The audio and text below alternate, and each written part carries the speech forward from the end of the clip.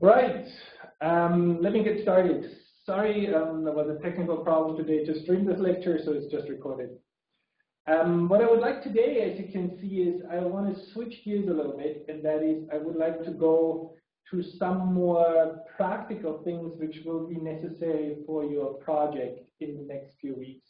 We have, what is it now, almost the end of March, so we have about five weeks or six weeks left at best and we will try to allocate a fair amount of time towards doing the project and preparing the project so that you actually know what you're doing and you can implement it on Nao and you can try it.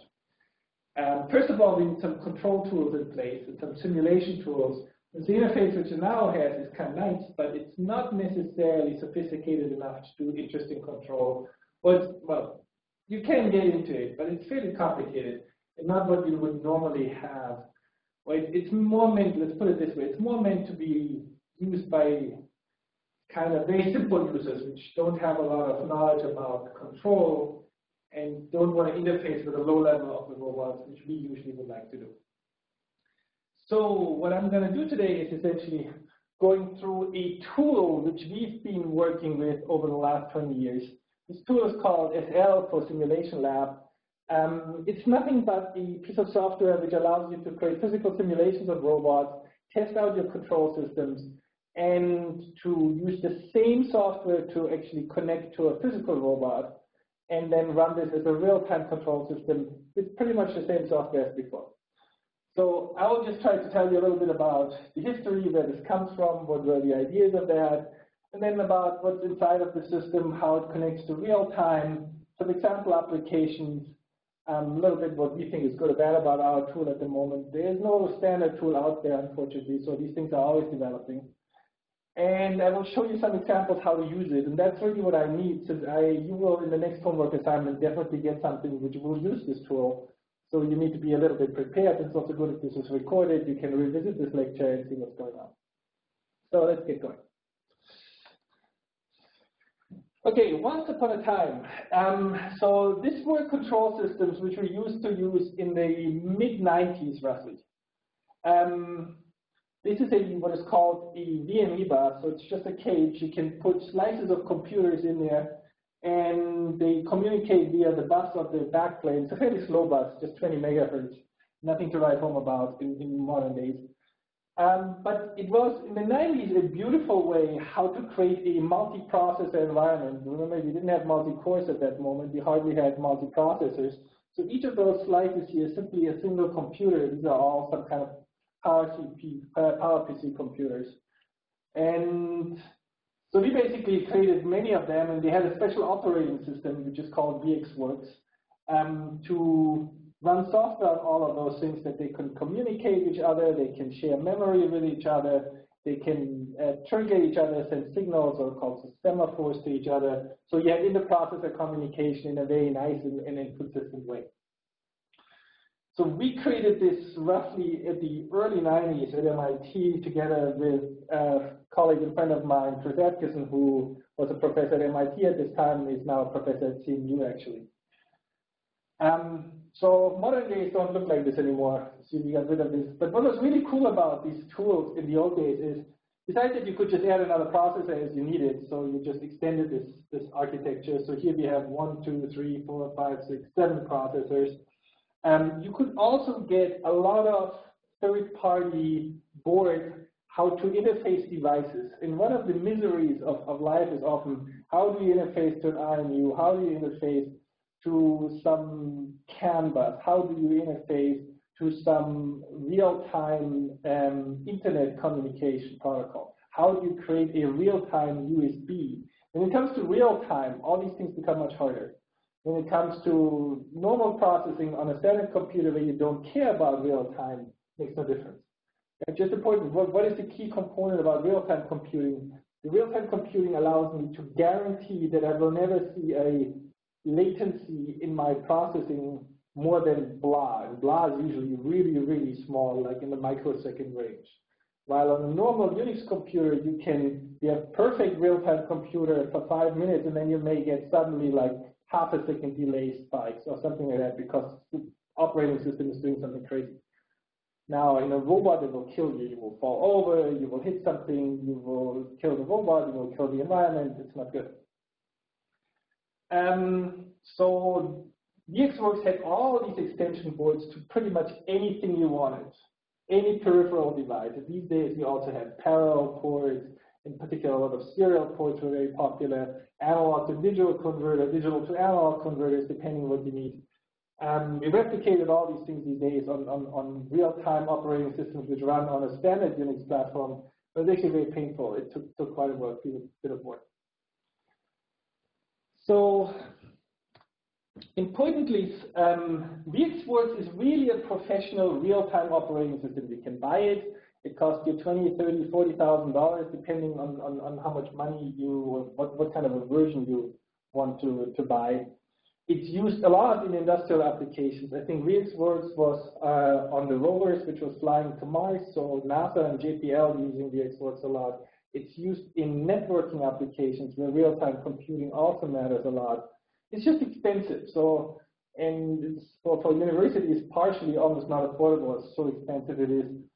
And also, you need to always work with, with specialized software. You need to find other boards, periphery boards, which can work with a specialized software. So in kind of modern days, it's annoying.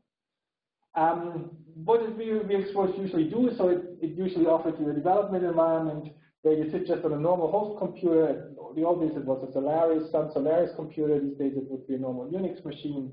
From there, you can connect to these little computers, which were in the VME bus from the previous slide, and you can communicate with them. Uh, it downloads a special real-time operating system to each of those little computers. These little computers have as little additional processing as needed. So that the host computer is the big interface and it's not real-time. The little computers do all the real-time processing and they don't run any kind of fancy additional processing. Okay, now I do not need you guys to connect you. Could you just disconnect? Thank you. Sorry. Um, what was nice about VxWorks that it has that seamless integration between what you do on the host and that it automatically gets pushed to the little real-time computers as necessary. I already mentioned it has multiple targets, which is great. So you could do multi-processing. Um, I mentioned communication, memory sharing. Everything works through normal TCP/IP networks. Guaranteed real-time performance. This is really important. VxWorks is fabulous you can create a 5 kilohertz clock and things will happen just right when you need it. That's really the, the power of real-time computing. If you say something with highest priority, happen now, it will happen now. It will not be buffered, it will not be delayed, it will happen now. And that was really cool. Um, and it basically just interacted with normal file sharing on, on, on, on, in, in Unix operating systems. So what a typical VxWorks environment used to look like in our world, so this is what we used until about four or five years ago, was essentially there's a host computer running kind of the host interface of VxWorks. It communicates through the VME bus to a whole bunch of target computers, as they're called, so processors. And those then have input-output to a robot. In our case, it was a robot which had an additional interface which was doing a lot of digital to analog conversion. So for every degree of freedom of the robot, there was what is called an advanced joint controller, and that was actually controlling, um, with the help of VxWorks, every degree of freedom in terms of reading signals, sending commands, doing all kinds of signal filtering and things like that. All right, so this was kind of the old days, and was a very useful way of working with things. One component which we really liked was if you have separate computers running certain processes, you just put some of the processes you really care about, like those which do motor control and safety so the robot cannot fall over, do something terrible. You program this in a very lean way on one of those processors.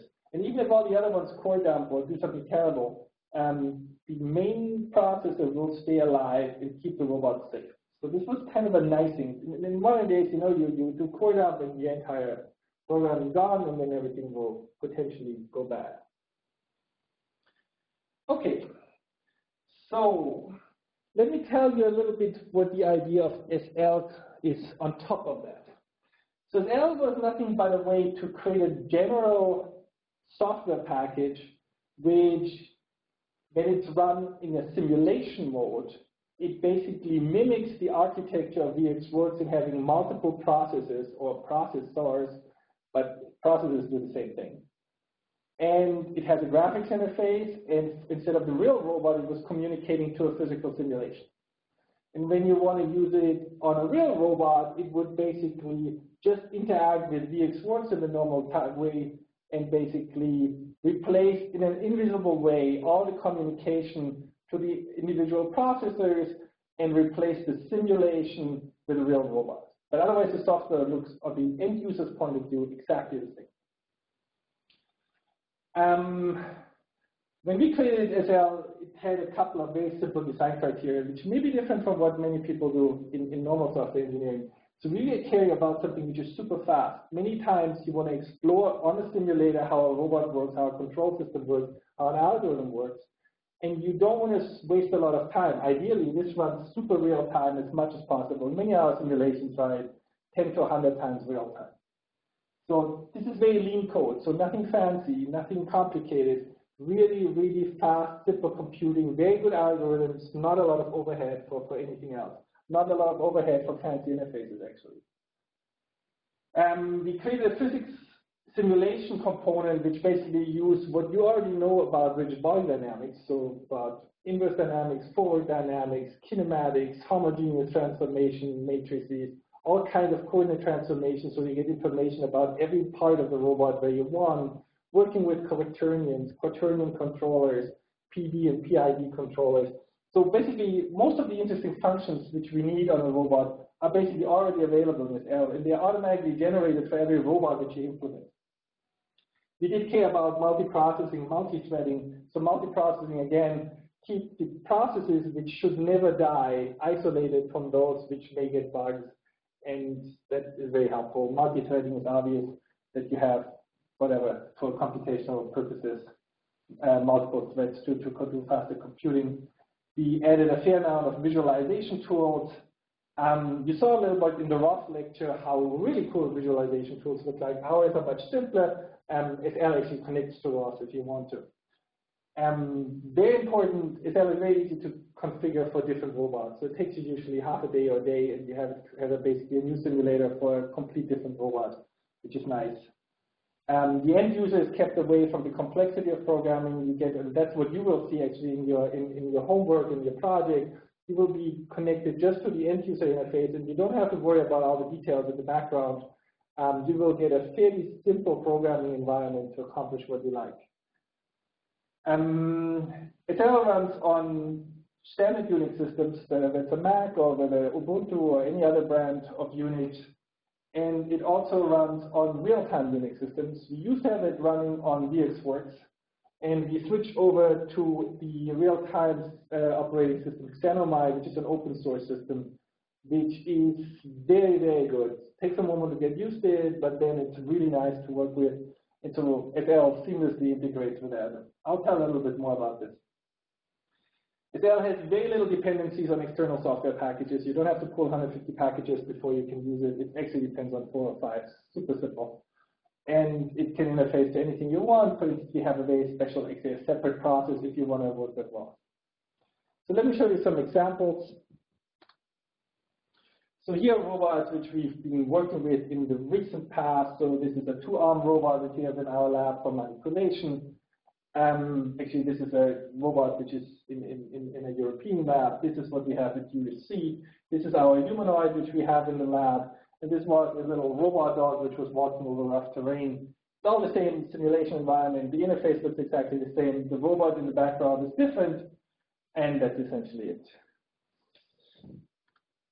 Let me just pull up some of those points here. Um, some, some key elements in SL. So it was, as I mentioned, originally developed for multiprocessor real-time control using VxWorks. Then we added in the mid-90s kind of uh, physical simulation engines. And since 2008, we went over to the open source system Xenomai, which is also a hard real-time operating system on Ubuntu platforms. It's actually a kernel, a second kernel that you install on top of your normal Ubuntu kernel, and then it basically takes over in this kernel all the real-time operating and it's used by a whole bunch of people, um, colleagues, ex-students, and, and friends. Now, let's go a little bit more into detail what's going on inside. And uh, the key component is to separate the processing of a robot into some core processes. One of them is essentially what we call a motor servo. These are silly names that were given to the system long, long time ago, kind of developed over time. The motor servo is essentially just something which creates a feedback controller and a feed-forward controller. And then basically sends a motor command to the robot or to the physical simulation, gets state feedback from that system, um, filters it, processes it, and then basically it gives all of that to a higher level process, which we call the task server, where you basically implement your tasks. This is the interface which you will see most of the time. What you do here is essentially this trajectory planning, desired behaviors, you create control policies, you do splines or whatever you want, you compute a feed-forward command with inverse dynamics, for instance, and then you send basically the feed-forward command and the desired position and velocity command to the motor servo that's communicated through shared memory, and it will basically realize the complete controller, send it to the robot, send it back. Um, what is nice, if something happens here because your task uh, servo, your, your planning algorithms have some problems, if you cut by mistake the connection here, then this motor servo keeps the robot alive and shuts it down nicely in a, in a control. We also have basically the ability to add additional processes to that. One of them is, for instance, we call the vision servo. This is when you want to add cameras and get some visual input in real time, particularly. And so we used to use actually color block trackers in a long time ago. These days you could have, for instance, a Kinect sensor here, which then basically does some basic processing to see objects in the world and communicate the positions and orientations of these objects to the task server that it can plan. It would actually be useful these days to have one more box here, which would be for the ROS interface, and that basically creates all the communication to ROS messages. Very important, ROS is not real time. So you need to have a safe communication uh, structure which can communicate messages in and out without breaking the real time of, of the other processes. And that is guaranteed the way it's being generated. So when you look at basically when you start this L for a particular robot, this is for a humanoid robot, you get a whole bunch of windows, something you can configure actually as you wish. But you usually see a graphics and simulation. You get something which in real time shows you some data traces of great interest, for instance, positions, velocities of all the joints, some commands. This is actually useful, you will notice this when you work with that, to just get a feel for what's happening. If you suddenly see a signal which is very noisy and behaves very strangely, something is wrong. So then you get immediately a feel that you may be shutting down. Or you want to just monitor a particular signal, which is very important over time, all the time. This is helpful. For instance, you see here, there's some spikes here. So you might want to worry what these spikes are, and you might want to look into that. Oops. So computer goes a little bit back and forth. On the right side, you see the, the, the windows to the different processes. So this here is what we call the task servo. This here would be the vision servo. This is the motor servo. Here's a window which is communicating to the simulator, the physical simulator, and here's another process which is creating the OpenGL graphics visualization. Important, this process here, OpenGL, is obviously not real time. The other ones are real time. Let me quickly try to fix that flickering.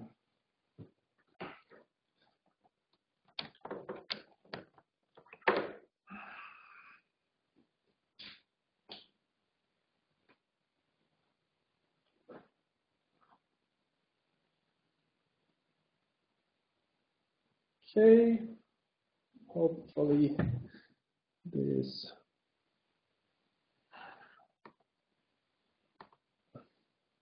works again. Okay, hopefully the flickering is gone now. Um, okay, so that's generic appearance. So let me show you a few more components of the software.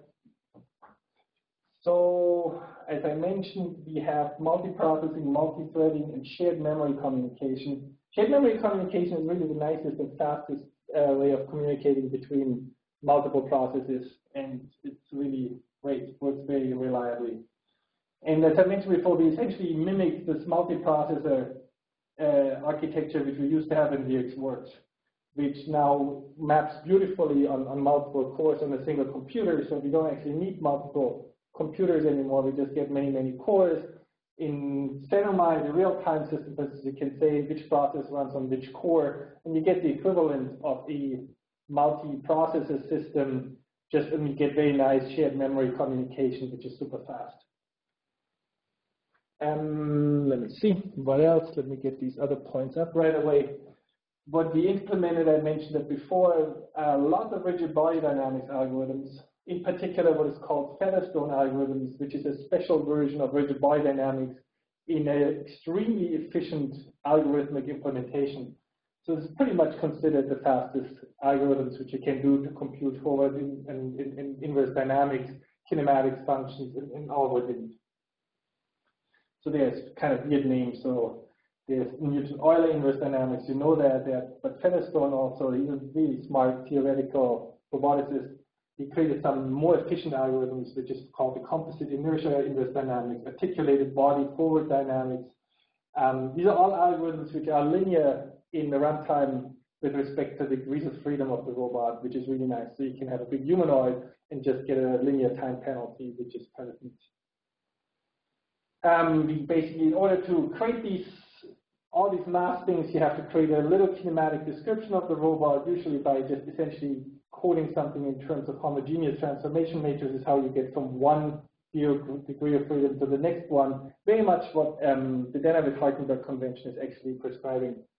And this is automatically then processed by some Mathematica programs which we wrote a long time ago, and it creates C programs. So these C programs are compiled into the software and then do everything you want. This is essentially creating this configuration file is a little bit painful. That can take two or three hours. The rest happens within basically seconds or minutes. Um, we also basically have a fair amount of work in, in simulating contacts. Contacts are really painful to simulate since there's many different algorithms. Some of them are excessively fast, as slow. Some of them are not very good. And yeah, there's no real agreement what is the right way of doing contact when a robot is contacting the world. So you see this here on the on this picture. You see all these little red balls on these kind of turquoise arrows that basically show that there are some contact forces acting on the feet, and all these uh, points which are turned on are contact points at this moment. The way we basically simulate is simply we create little spring damper systems at, at each of these points, and then basically compute the force which is generated by pushing into the floor. And that works reasonably well. It requires some tuning, unfortunately, which is not the most favorable thing to do. Okay, so let me go to the next point. And this is kind of how this is structured in SL programming. There's essentially, as you can see in this box here on the right, there's three components. There's basically the core libraries of SL, which are completely generic. They apply to any robot. Then there's basically for a particular robot, some robot-specific extensions, which basically model this particular robot. And then users can add or compile into the code their little pieces of code which realizes certain tasks. Um, that's essentially it. You will only see this part. If you create a robot, you will see that. And if you really want to change how that is working, you will have to interface with that. Um, everything is programmed in C or C++, mostly actually in C since it's pretty old that we programmed that. It's, it's moving slowly over to C++ components. I mentioned before there's a ROS interface, which was actually created by Peter Pastor and Mrinal Kalakrishnan, who are now at Google Robotics. These are fabulous people. Um, Interestingly, as a user, you can, if you know how to do this, you can override a fair amount of things which are happening on the low levels. So if, if you're a good user, you can actually use your user environment and kind of get rid of a fair amount of the automatic uh, functionality of SL, which for some advanced users is really useful.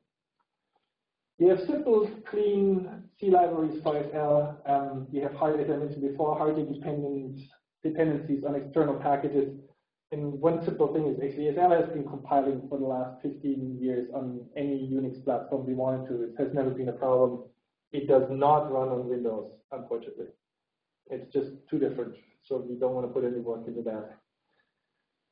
Documentation is always in these kind of things which are done at universities a little bit weak, and there is actually under this link and also on the web page of the course of this lecture is a link to a manual which describes SL from about five, six, seven years back. It's still 90% correct, except that some of the details in the background have changed. I will tell you a little bit more about how it works on the task server that you implement the task which is essentially by creating some specialized functions which get automatically called, basically something which initializes your task, something which runs your task, and also something where you can do online parameter changes.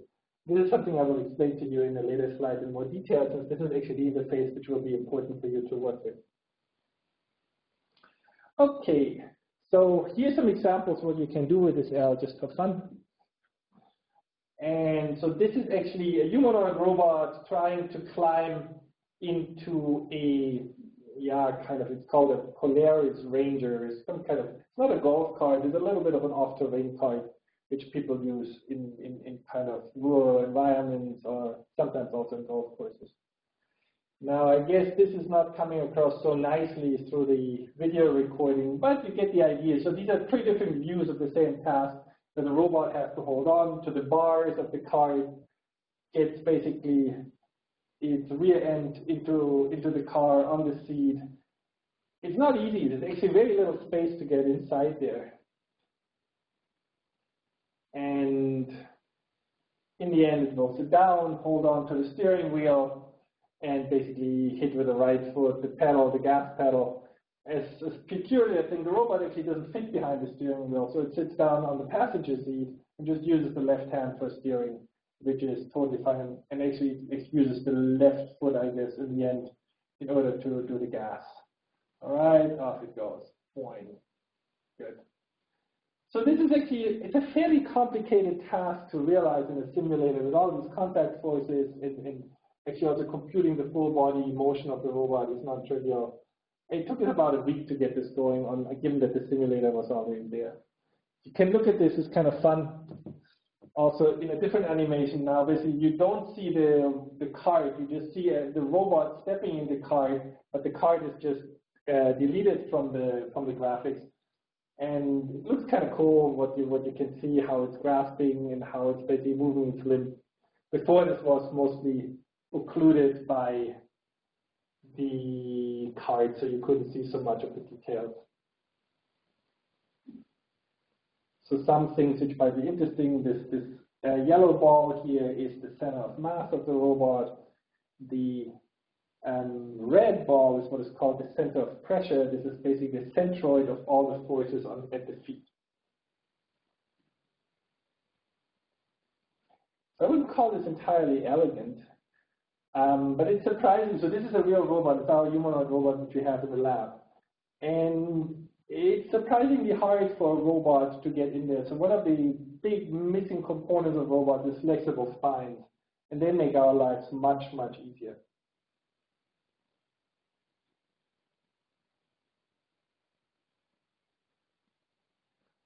Right, putting its leg down. I think it will just move its pelvis over on the seat. You need pretty strong hands for that, actually. If you have weak hands, this is not going to work. And you see, well, these, these force arrows, they're just scaled arbitrarily so to see small forces. But you can see essentially from the magnitude of the force arrows that the robot is holding on strongly.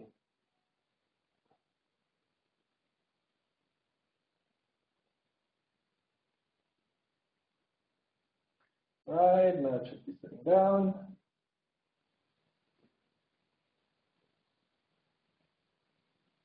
or it's already, oh, it seems already sat down, it has already hit the gas pedal. Okay, anyway. So let me just pop up the next component. Um, as I mentioned, we actually switched recently to Xenomai over to a, a few years ago. Some um, information on, on, on Xenomai. So Xenomai is what is called a dual kernel approach, where the new kernel which gets installed is the primary kernel, it's the real-time kernel. And you have to basically use some special commands for certain system calls such that you stay in the primary kernel all the time. The primary kernel gives um, computation time to the standard Ubuntu kernel whenever it's needed. But the moment you switch into the Ubuntu kernel, you cannot guarantee real-time performance anymore since we never know when they come back. So it's a little bit of a programming discipline. It's not too hard, um, but if you do it right, you stay in the primary kernel with your real-time processing, and real-time processing is guaranteed from then onwards. Um, what is important is actually Xenomai has by now nice components for CAN bus interfaces, which is a very popular robotics communication interface. There's a real-time communication internet for Ethernet, which is very important. Ethernet is very popular. Ethernet is standard, is standard not real-time, but there's a way how to make it real-time. Uh, there's also the first USB interfaces, which are real-time, also not so trivial to realize. And then there's a whole suite of uh, software tools how to communicate with data acquisition tools. These are actually boards, for instance, produced by National Instruments, which can read whatever analog signals, convert them to digital. They have parallel port communication. They have clocks. They have triggers. Um, they have analog outputs, analog inputs, all kinds of things which are used in data communication and data acquisition tools. And that works incredibly well in real time. So see, I, I a couple of years ago, we were still working with the developer to make it better, but by now he's kind of totally figured it out and it works really well. Actually, this, this tool is called Analogy, and some of you may know there is on normal Unix platforms is a software tool which is called Comedi. And Comedi is essentially the Unix version of data acquisition, but non-real time. Analogy is the same as the analogy of Comedi, except it works real time. And the interface to ROS actually works very nicely as well. One thing which can become tricky sometimes when you just buy a computer and then you install Ubuntu, then install Xenomai and whatever tools you need, and then you go and try that everything works, sometimes things don't work. So there's things like IRQs which have to be matched. Sometimes some chips are not capable of realizing some of the real-time performance, for Ethernet. So you need to actually look at the recommendations of the Xenomai guys and basically use the right hardware or potentially buy different peripheral boards like Ethernet boards or USB boards, which can realize the real-time performance. So it takes a little bit of tinkering. The moment you have a nice stable system, don't touch it, work with it forever Okay, what is here? So what is nice in our environment then is basically with using Xenomai, which never loses the standard Unix programming environment. So everything remains the same as a normal Unix environment, except you avoid, when you do real time, you avoid things like printf, disk accesses, some memory allocations are bad, and you need to create special real-time threads and things like that. So these are kind of the rules which you have to follow in order to make it work. But that is something you can learn. It's, it's just a little bit of discipline. The manual of Xenomai, actually the online manuals are really nice. So some fun things. So what we have created in the past, let me just turn the sound off. And these are just a bunch of movies of, of, of uh, robots which we've been working with in the past in which use uh, Xenomai on an Ubuntu platform with SL for real-time control. So this is a little robot dog which actually learned how to walk over fairly rough terrains. Down there is our manipulation robot. Here's our humanoid robot, just the lower half, just the legs, with an experiment about balancing. And it was great. So we had absolutely no problems. It's very reliable. We're very happy with it. Okay, let me let this run for a little moment longer and then move on.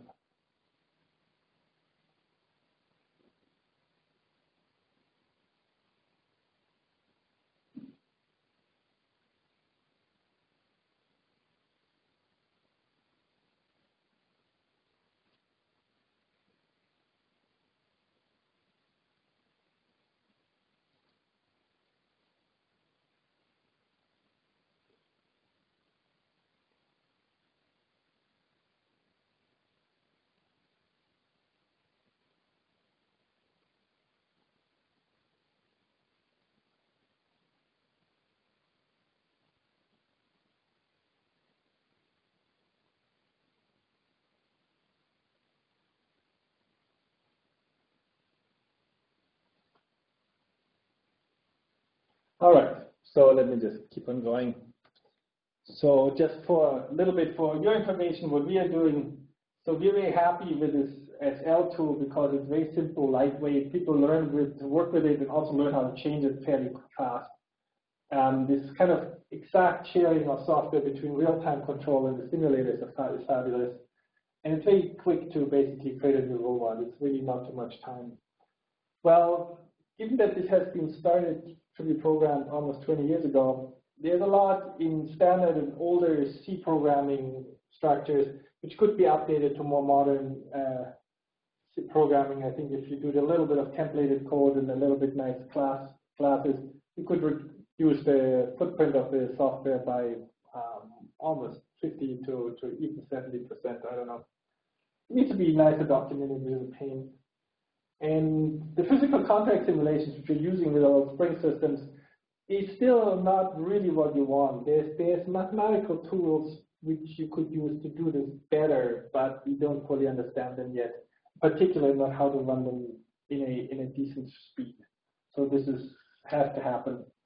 Um, for the future, there's some so this Mathematica code which we're having is is, is beautiful, um, but if you could realize something with Eigen, so one of the very famous C++ um, numerics libraries, you may actually get things faster and completely avoid that you need another tool like Mathematica. Um, um, better contact dynamics, maybe nicer user interfaces, and maybe newer versions of real-time uh, operating systems. There's something which is coming out which is called the RT patch system, where you don't have a secondary kernel, but just a patch to the standard Linux kernel, which makes it very, very good real-time.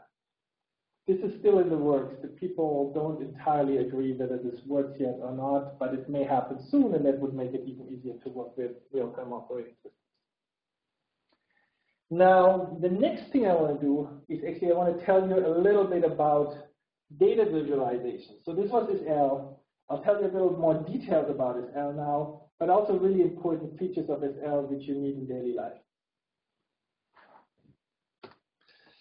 So here is a nice picture of the Nao robot. So first of all, you get a graphics uh, simulator or visualization of your robot where you can see what's going on. I mentioned before you have these kind of real-time data traces where you can watch signals in real time. Here actually the robot is just moving its knee up and down, and this is kind of the knee joint, which you can see as a sinusoidal position trajectory, and here the sinusoidal velocity trajectory. Um, what you see here is essentially the, it's just a debugging tool. You can actually watch how fast every component of your, of your code takes in the processing on each of your processes. So this is a very low-level of debugging tool. When you start to run really computationally expensive components, you need to know how long they take. So for instance, this robot runs at 100 hertz, which is fairly slow, but now it's just a very slow communication system. Um, but that means you only have 10 milliseconds for computing. And then basically the next cycle starts. So you got to make sure that you never compute more than 10 milliseconds, which in the end means you need to also have tools which can check how much do you compute. We basically have ways how we send basically uh, little signals which, which say, okay, which, which visualize how much one particular function is actually computing. We can visualize this in real time and see whether something is not working properly. So these real-time traces are very useful to see what's going on in your robot. They always, as you will see later on, they just move all the time, so you cannot study them since they're gone after a few seconds really fast. But they give you an overall impression what's going on with your robot, which is helpful. On the right side are just the regular terminals, again, task servo, motor servo, here's the simulation, here's the OpenGL component. Now, one component for data visualization which we're using is actually a particular outlet to MATLAB to visualize data traces over time. And I just wanted to show you that, and it turns out looking at data traces is one of the most important components when you work with robots and when you debug robots. And I think you should experience once what this looks like and how it feels, and also what you see in these data traces. So we have a tool which is called CM, clmc plot, which works in MATLAB as a data visualization tool. It, essentially, all what it interfaces to is that on the task server, you can, in, in our NSL, you just can collect certain variables in an inter-memory. Not a big deal. So basically, you run it, say, 100 hertz, then every tick of your um, loop which is running on the task server, you copy all those values which you can predetermine through a little script file, and you copy them into memory. You say you want to collect data for 10 seconds, then the memory is basically full, and then you dump that as a file to disk. So the way this is actually uh, handled is through a command line command, which is called out menu, as shown here in this window. You get a very simple ASCII menu, how you can change the sampling rate for how often you want to uh, stick data into memory, from which file you read, which variables you want to actually collect, and also for how long you want to collect. And this is something you might want to use, and you will get used to, and you can actually see what your algorithms are doing, since otherwise you have no idea what's going on. Just looking at the graphic simulators or this kind of oscilloscope traces, um, that doesn't tell you too much. So let me show you to get basically into that for a moment. You need for a moment know what the directory structure is in SL. It's and that's particular for the user component and your user programmer. So you will have something which is called now user. That's the directory, the root directory of your code. In there is a makefile, not surprisingly. There is some directory for source code. There's a directory for some preference file, directory for configuration files, and then there's all kinds of directories which have compiled objects for different um, operating systems, for instance, for Mac or for standard Unix system, or if you use standard Unix systems with Xeno, uh, it will have a directory which looks like that. Those ones you don't care since they're automatically generated. Config you don't care right now since these are kind of important configuration parameters which you do not want to change at this moment. In the press directory, you find actually a couple of scripts that, for instance, allow you to do data collection. So there's something like for the task server, there's a underscore default dot script, which basically specifies all the variables which are normally collected. There's also something which is called the sample dot script, which actually specifies all the variables which you could collect. Essentially, the way this works is that somewhere in the programming, you have to basically give variables which you would like to collect to a collection facility by giving them a name, and you have to pass the pointer to this variable, and that's good enough, and then basically the data collection can work. There's also the same kind of variables exist for the oscilloscope if you want to visualize in the oscilloscope. There's things which can basically generate sinusoidal behaviors that you will see at some point how a robot can just move like that. You can just basically every degree of freedom should move with a sinusoidal movement of a certain frequency, with a certain offset, and with a certain amplitude, which is very straightforward. And there's also ways how you basically can specify the default data collection. You will get used to that. You don't need a lot of that. I just wanted to show you how this all works like. Now you will just have one quick peek into the task default script, which is a data collection script. So that looks essentially like here. There's just a whole bunch of names. These names, when this script is read, will be automatically parsed, matched against what the software knows what data collection it can do, and then it will, they will be collected. So here you basically have the right shoulder flexion extension, uh, underscore theta is the joint angle, theta dot is the joint velocity, theta dot dot joint acceleration, the motor command, feedback command, if there's a load sensor, the, the sensed load at the degree of freedom desired, and also feed-forward commands, for instance. There's many, many, many more. There's like thousands of variables you can collect, but this is just a typical subject. This is for the shoulder flexion extension. This is the degree of freedom which would be going like this. And shoulder adduction abduction is the degree of freedom which goes in and out like this. Humeral rotation is a rotation about the humerus, which is the upper bone of your upper arm. And there's many more. Um, just to show you how you collect data after you basically have a particular data collection script read in, um, you simply SCD for start collect data, then it will basically, for in this case, for five seconds, collect the data and tell you that the, the, the buffer is full. And then you type save data, and it will be dumped into a file.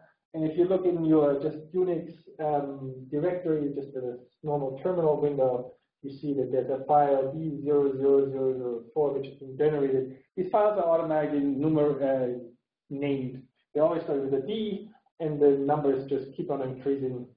And if you manage to basically create something like 99,999 data files, you've done a very good job debugging over time.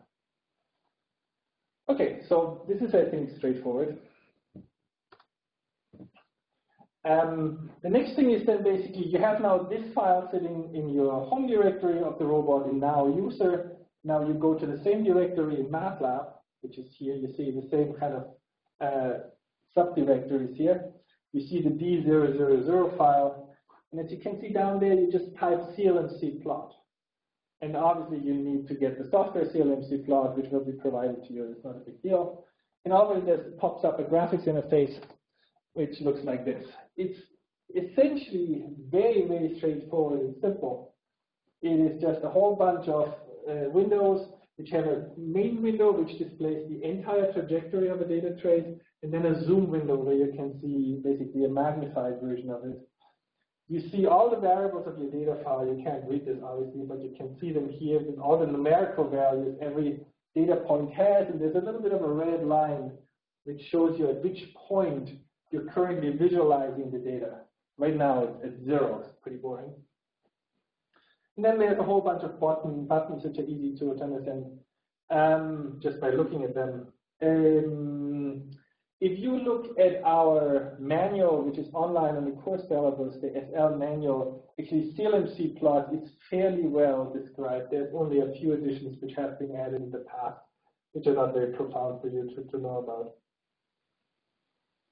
Okay, so now the file is read in, and now if I want to visualize some data traces, I basically click on a variable here, and then click on the window where I want to see it, and then it gets visualized. So what you see here is actually, again, this is just, unfortunately, you cannot see this with the resolution appropriately, but you see basically a position trajectory of the right knee flexion extension and its desired trajectory. Now they overlap perfectly, which means things are working nicely.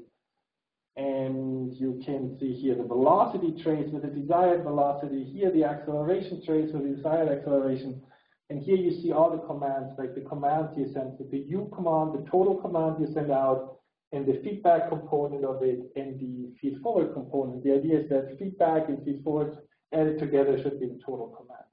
So these are typical visualizations. You can see that here in the zoom window, this is basically on a basically zoomed time scale to see a little bit more. Again, the idea is very simple. You click on a variable, you click where it's supposed to go, and you will see it. You can put multiple variables in the same window if you want to superimpose them.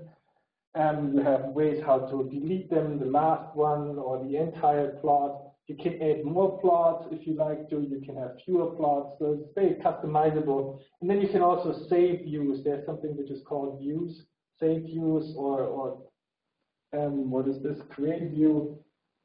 Okay, this is low resolution. Um, and you can basically save particular views. So if you have a bunch of variables and you want to see the view of all joint angles, you click on that view. If you want to see the view of all joint velocities, you click on that. This is just to basically quickly flip through different views so you can debug things very, very rapidly. Okay, so this is data visualization. And again, I will ask you in a homework most likely to use this tool after you program something and to visualize what you've been doing and then tell me what you think about it. It's not a hard tool to get work, uh, to, to get used to it. It's literally just a few buttons you can click and that's it. Now I need to spend a little bit more time on the programming part of SL. The part which you're going to see is what is called the task server. This is where you're interfacing with your programs. And what the task server is doing is essentially at a particular sampling rate, for instance, 100 hertz for the Nao. That's not really high. Normally we use 500 hertz or kilohertz. Um, we basically get data from the motor server. These are sensory variables mostly and load variables or anything which could be collected from the robot. Um, we provide those variables through the shared memory to your local user interface. And then what you have to do, you have to generate desired trajectories and feed-forward commands. And again, you have to do this the Nao at 10 milliseconds or 100 hertz.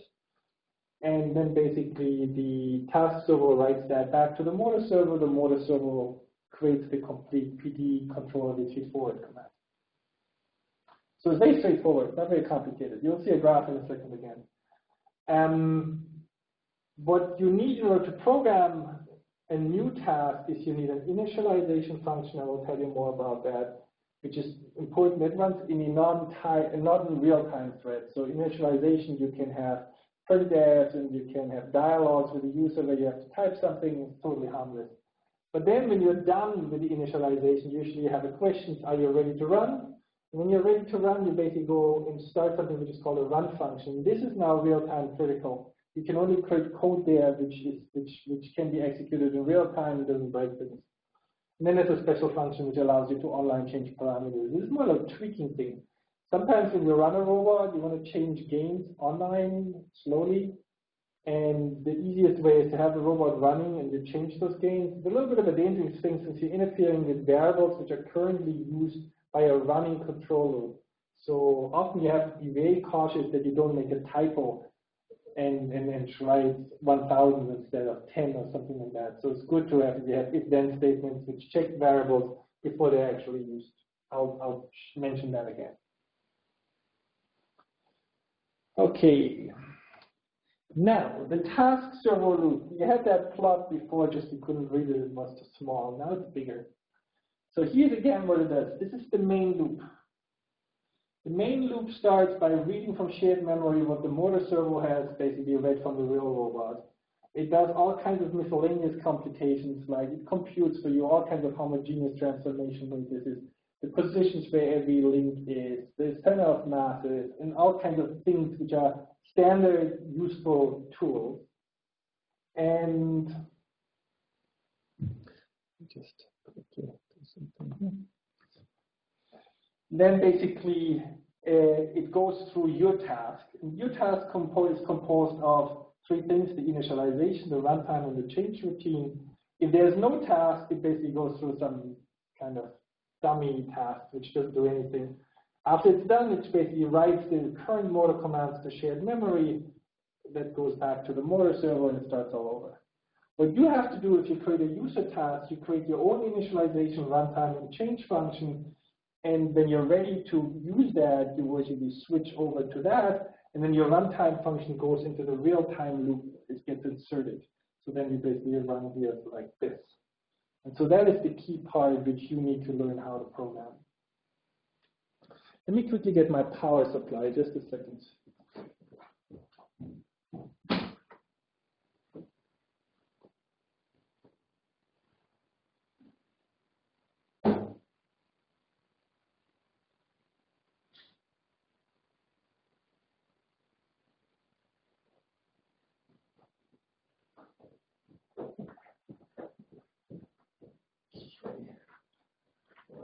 Power, which is not good. Okay, so now let me look into these three functions a little bit in more detail. So adding a new task now means you write a C or C++ function that contains these uh, three required coroutines. You will actually find a sample task C or sample task C++ in the directories which were provided for you with software. You write them, you compile them, and then there's, in the interface of the task server, you can type set task. The short for that is ST, and it basically gives you a menu. You can select your task and you can run it. So that you will get used to. And I will also show that in, some live demos to you one more time. Quick thing, what happens in the initialization function, usually what happens is that you want to make sure that nothing else is running, so the robot is not running a task. You want to take the robot into initial posture. For instance, let's say I want to bounce a ball and I stand like this. I want to get my hand up there so I can bounce the ball. Uh, I might want to initialize some variables, like some timing variables, some gains, whatever I care about, and then I trigger the task execution. It's really just a prologue. Now, in the run function, you have two things which are important. There's really what is called the variable. This is a structured joint desired state. That basically is what you have to fill out. It's actually shown here on the right side is the, the, the definition of the structure.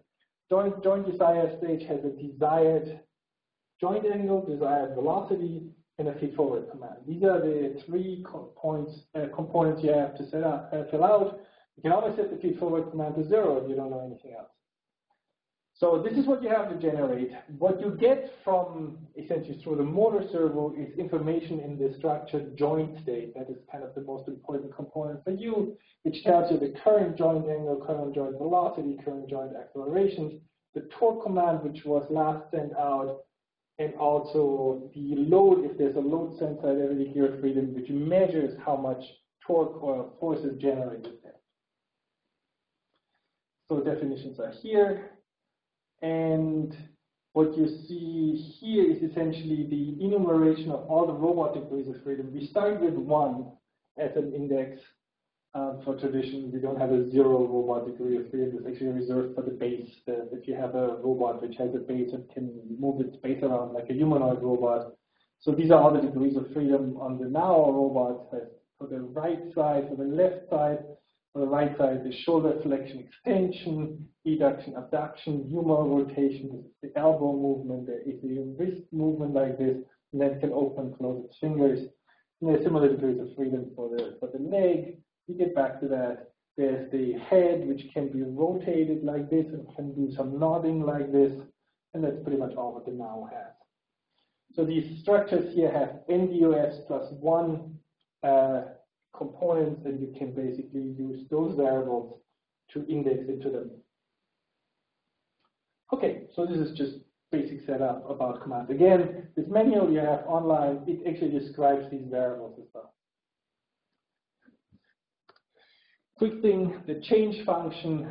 Um, the change function is just an online function to change uh, parameters and it's really a tuning function. It's not used in, in, in, normal daily life. And very important, you've got to be careful what you're doing. If you're messing with a real-time running uh, control loop, so the right thing is if you type certain variables that you would like to change, read them into a temporary variable, check the temporary variable for some min-max value or reasonable values, and then copy the temporary variable in the variable which matters. Like if you have a position gain, first read it into a K10, and when you have K10 checked that it's positive, that it's not zero, that it's not greater than 10, for instance, then you copy K10 into K, which is your position gain. So just showing you a little bit of code, see whether we can see that. It should be at least visible, I hope. We use CMake for creating makefiles and for compiling. Um, CMake is a very standard tool these days. Most of you may know it. It's just basically something which creates makefile from a more abstract and easy to work with description language. The file that you care about is in the source subdirectory, and the file we care about is cmake which is shown here. And there's all kinds of stuff in there which you don't have to care about. Really, all that matters is there's one tiny little blog which basically specifies all the files you want to compile, like for instance sample task.c or sample task underscore c++ dot c++. So these are things, if you wanted to add more files in your task, you just add them here, and that's it. Everything else will be done automatically. You type make, and good stuff happens, and things get recompiled. Now, here's an example of the of the sample task now this is, I think, roughly readable for you. It has just some initial declaration. So this is the C version of the C++ version. Um, you can declare variables at the top of the file, wherever you want to declare variables, it's up to you. There is something, a function which needs to be there, which is how to add the sample task to your code. Um, I didn't discuss that. It always looks the same thing. It basically has the init function, the run function, and the change functions. The pointers to these functions are passed with the help of a special function, with the add task function, and a name is given to the task, and, and you're done. Okay. So this is just a header. here is the initialization component of a task. And if you read through this, you will um, you will also have these things in your C code if this is too hard to read on slides. I just wanted to show it to you, just at least how the codes look like. You will see that there are some initializations of variables, some static variables which tell you whether you did something for the first time or not. There's this component where you um, create a target and then you run the robot to go to this particular target and wait there. This kind of an initialization which gets you to a start posture. Then comes a bunch of questions that are are you really sure that you want to run this task? You're done with initialization. And then the thing starts running and basically you keep track of some additional variables. If you read this code, I think it's, it's fairly straightforward. It's nothing profoundly complicated. Um, the run function is most important. What you're going to see here is actually in this task that the robot does a simple one degree of freedom movement with degree number one, which in our way would be the right shoulder flexion extension, would be a movement like that. And this is actually useful. You see a typical way how you can um, create a sinusoidal desired trajectory by creating a position trace just from using the sine function a velocity trace and a acceleration trace. So you have to compute this at every moment of time. Then you basically assign these target values to the joint desired state structures. And when you're done with that, you compute the inverse dynamics with a specialized function, and you're done. Then automatically in the variable joint desired states, you have desired position, velocity, and a feed-forward command, which will be executed. So this is a great little example of what you do. And what you will most likely face in your third homework assignment is to change this example to create a point-to-point -point movement with splines uh, for the robot arms. And that gives you a fairly good feeling for what it takes to, to actually get something like this done.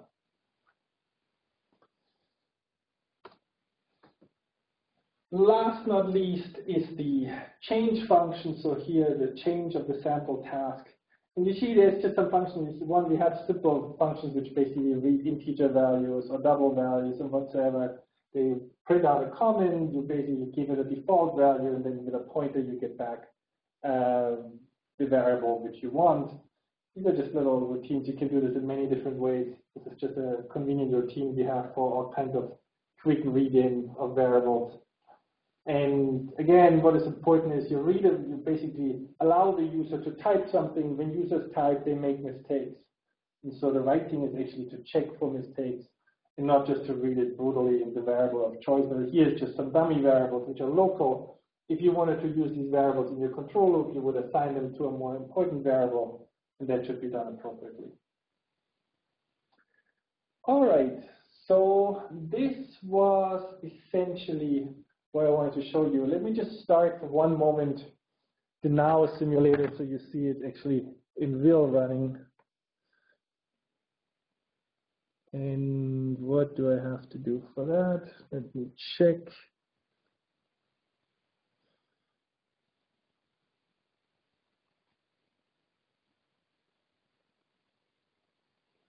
We have this screen. Let me just move that over here.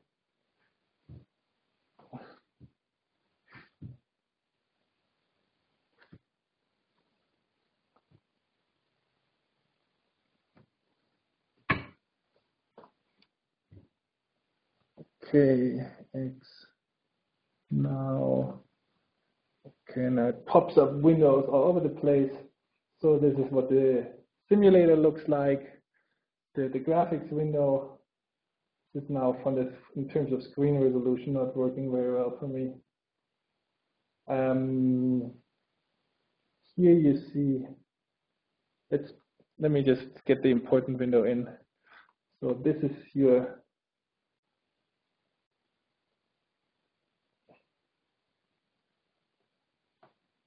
task server and now basically choose, choose a task by doing st for a set task. I choose the sine task. Um, I ask some question, use the default sine. I just use the defaults for everything. and I start the task. And what you should see is now that the robot is moving its legs up and down. We can also look let me see, it's got to get this window. You can look at the oscilloscope window. Now this is most likely really hard to see in the recording here, but you can see how basically the data traces change over time. You see different degrees of freedoms, the position and the velocity traces, and you can change basically what you want to monitor here. Um, you can also see that the system is right now roughly running in real time. We have a real time mode also for the simulator. It runs roughly at 100 hertz. When you tell the Unix system, the Ubuntu normal system to run it real time, it's just approximate. It's not quite accurate.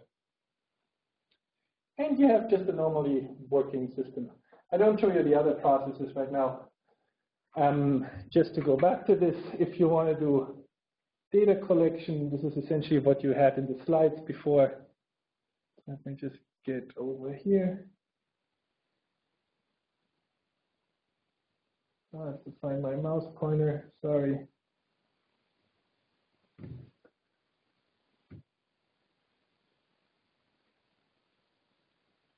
Okay, here we go. For data collection, you just type start collect data, then it starts data collection after about five seconds. That should be now. You see the buffer is full command. You can say save data and the data file is saved if you spell it correctly, of course, only. Now it worked. Um, a very useful command in all these processes is actually the man for manual. So it shows you all the commands you can actually use and that is obviously quite helpful if you just want to see what you can type in these windows and what is going to happen. All right, so that was it for today, just to give you a outline of what matters for getting a real control system going on a simulator or a physical robot. You will still see more of that. You will use this tool you'll get used to that. The functionality you use is very, very limited. It's not something complicated. It's not huge programming. It's just simple things. Um, but you will see what it takes to create something, to watch something on certain visualizations tools, and to debug it so that you can get a functional control. All right. Thank you very much. Bye-bye.